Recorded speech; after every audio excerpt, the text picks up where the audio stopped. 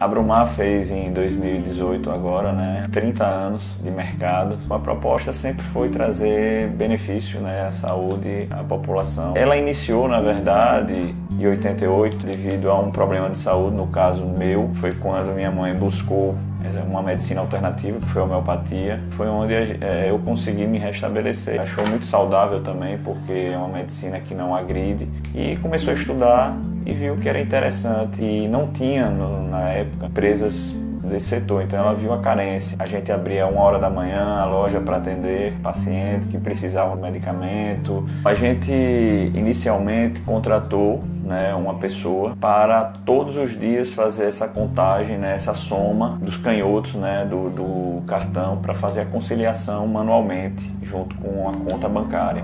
E realmente a gente estava vendo não só a despesa de ter uma pessoa né, trabalhando ali para fazer só aquilo, com o aumento da quantidade de cartões, foi que a gente viu que a necessidade era grande. Então a gente pesquisou e realmente hoje é um diferencial que a gente tem também aqui dentro da empresa.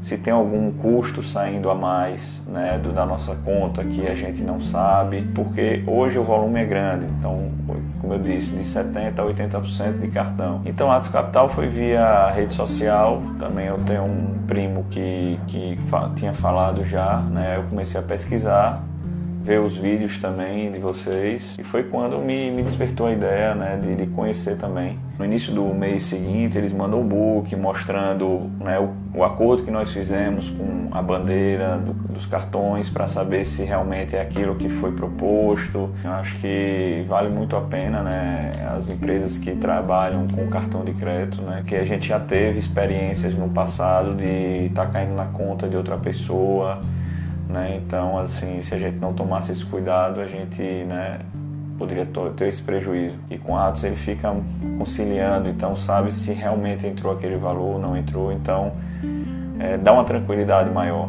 com certeza, e um custo-benefício interessante, não é, não é caro, é bem interessante.